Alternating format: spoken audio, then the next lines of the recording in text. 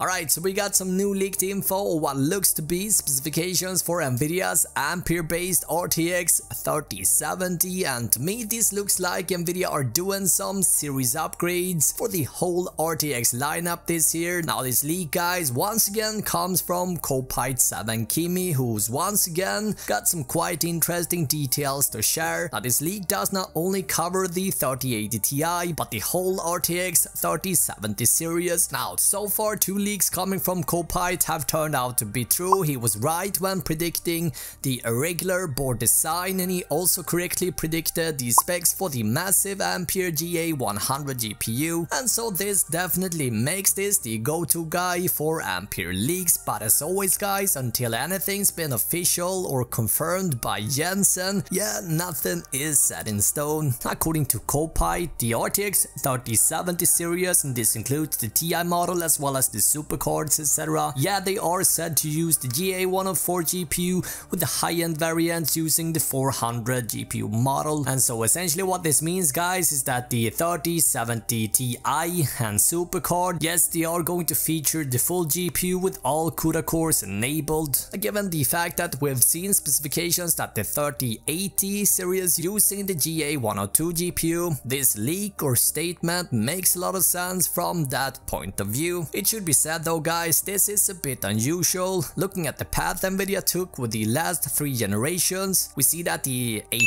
models have been sticking to the 104 GPU for quite a while now, where the last big GPU reference model beyond the GTX 780, which is quite a while ago. Seeing that Nvidia's doing this GPU change now have raised some speculations why this is happening. One argument that makes most sense to me at least comes from VideoCardz who got a pretty good answer to why we're seeing this change? The answer is Nvidia wanna put more memory on the RTX 2080 and the way each SKU look Nvidia had to choose between 16GB 256-bit or 10GB 320-bit again for the 3080. Now because the capacity itself doesn't have to be that much bigger because of the bandwidth upgrade it wouldn't make sense going with 16GB. However the fact that Nvidia hasn't upgraded the frame buffer size for their 80 card since the 1080, it makes quite a lot of sense seeing this upgrade now and by doing this change, yes, they unlock more memory options basically. With that said guys, let's take a greater look at the numbers. Now the leak claims that the 3070 gets similar specifications to the 2080, who's got 2944 CUDA cores and 8GB of GDDR6 memory. Now the full name of the GPU is predicted to be GA104-300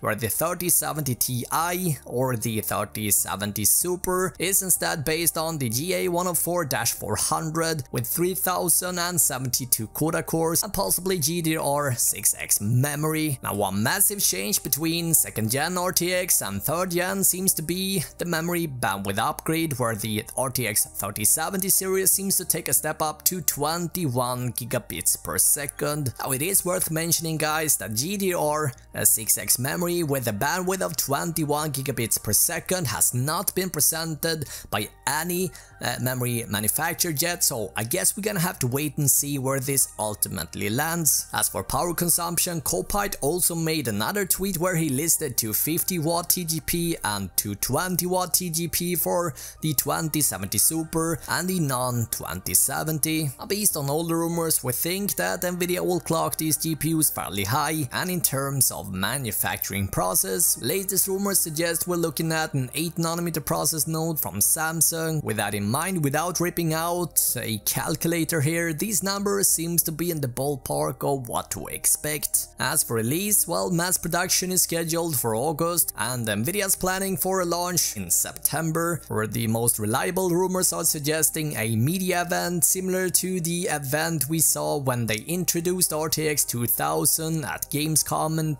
2018. So with that all in mind, what do you guys think of these leaked specifications? Do they make any sense or do you think that this is all just fake? In the meantime, watch either of these two videos, learn more, and I will see you guys in the next video.